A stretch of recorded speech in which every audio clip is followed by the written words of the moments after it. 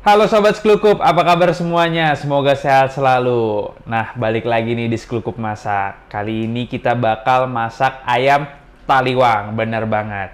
Jadi hari ini kita bakal masak masakan Indonesia yang notabene kata orang itu susah. Tapi nyatanya sebenarnya masakan Indonesia itu gampang. Langsung aja kali kita masak. Oh iya, sebelum kita masak, nanti full resep semuanya ada di deskripsi. Oke, langsung masak.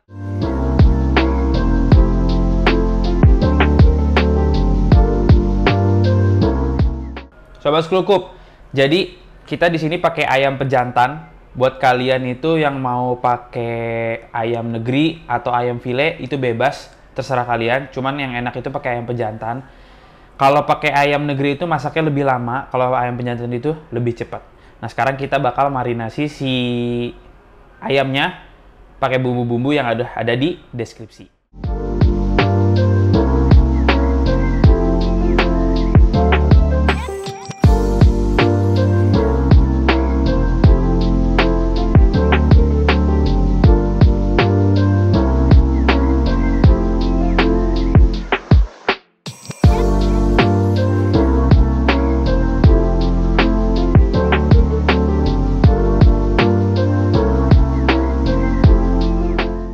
Oke, sobat sklukup, nih lihat uh, ayamnya udah kita uh, aduk-aduk, campur-campur sama si santan, kaldu jamur, lada, dan jeruk limau. Kalau udah kayak gini, ini bisa dimarinasi minimal 15 menit lah.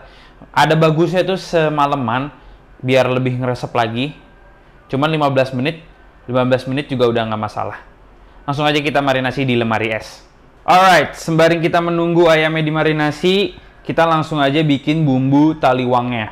Nah, bumbu taliwang nah bumbu taliwangnya itu kita di sini bahan-bahannya ada cabai merah, cabai keriting, tomat, kencur, bawang putih, bawang merah, kemiri, terasi, santan sama ada cabai kering. Cabai keringnya udah direndam kurang lebih 15 sampai 30 menit direndam sama air hangat atau panas. Tujuannya biar dia kan kering tuh jadi pas dikasih air panas biar bisa lembek lagi aja gitu. Oke langsung aja kita masak terasinya dulu. Nanti baru dicampur semuanya di blender. Let's go. Terasinya di sini bakal gue sangrai dulu. Kalau kalian mau bakar dulu juga nggak masalah. Kalau gue karena nggak ada alat buat bakarnya, jadi gue sangrai aja langsung di atas kompor.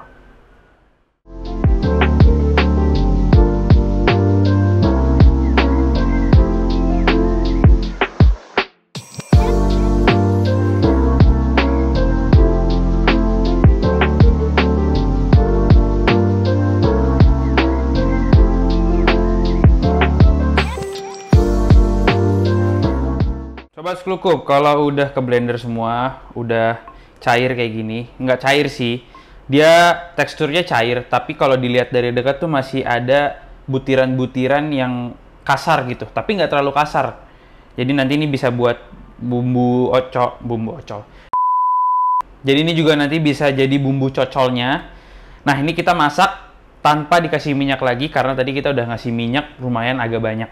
Jadi kita sekarang masukin bumbunya ke kompor. Let's go. Oke. Setelah itu kita masak sampai warnanya sedikit agak kecoklatan, lebih pekat. Terus juga si minyaknya itu udah mulai keluar-keluar itu tandanya juga udah mateng.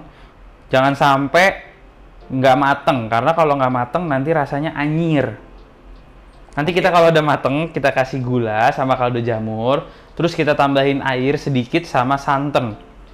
Jadi nanti biar teksturnya itu tetap kental, tapi nggak kental banget, tetap cair. Biar nanti bisa dicocol juga sama bisa jadi bumbu oles. Langsung aja kita masak sampai matang.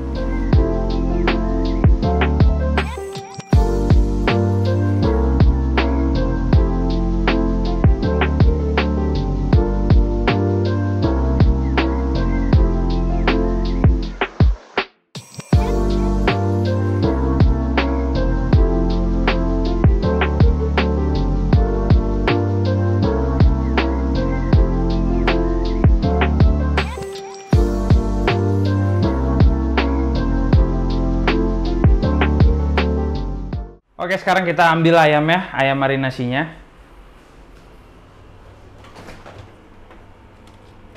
Nah, ini nih ayamnya udah dimarinasi.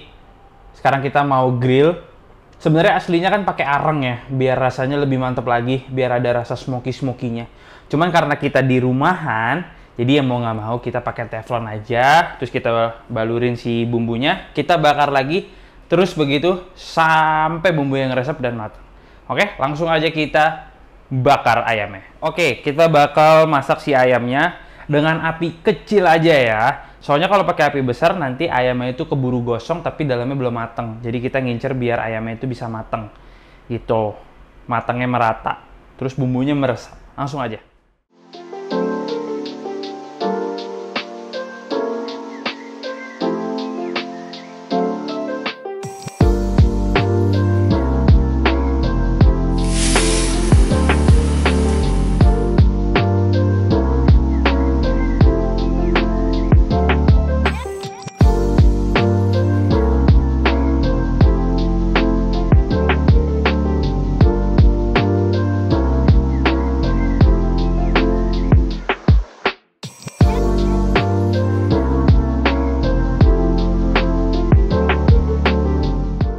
Nah kalau udah kayak gini biar nggak muncat-muncat langsung kita tutup semuanya. Jangan lupa apinya tetap kecil. Nah, ini kita bakal oles lagi uh, si ayamnya. Habis itu kita bakar, habis itu selesai.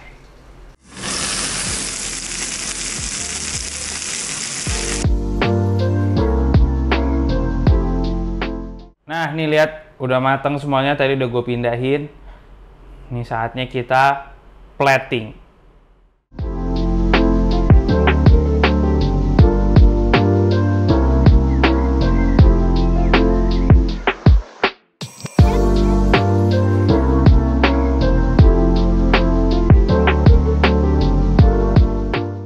Oke, sobat sklukup, nih dia ayam taliwangnya udah jadi. Lihat nih, mantap banget.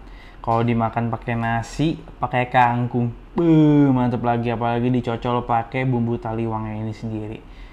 Hah, langsung aja kali kita badok ayamnya.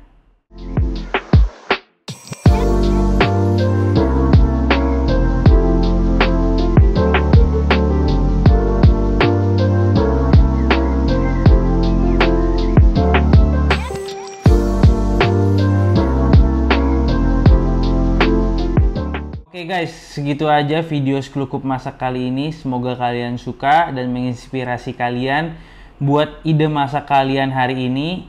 Jadi jangan lupa dicoba resepnya. Nanti ada di deskripsi semuanya. Terus di recook. Jangan lupa tag PTR Kansa dan Arova IP.